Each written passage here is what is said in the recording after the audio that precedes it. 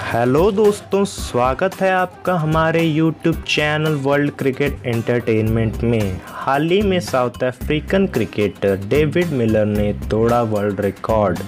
और बना दिया टी में सबसे फास्टेस्ट सेंचुरी यह रिकॉर्ड पहले एक South African batsman Richard Levi के ही नाम था, जिन्होंने 45 बॉल में न्यूजीलैंड के खिलाफ बनाई थी सेंचुरी पर इस रिकॉर्ड को उन्हीं के देश के खिलाड़ी डेविड मिलर ने बांग्लादेश के खिलाफ मात्र 35 बॉल में सेंचुरी बनाकर तोड़ दिया और दिलवाई अपनी टीम को तिरासी रनों से जीत और साथ ही साथ सीरीज़ भी साउथ अफ्रीका ने 2-0 से जीता। सो थैंक यू फ्रेंड्स इस वीडियो को देखने के लिए।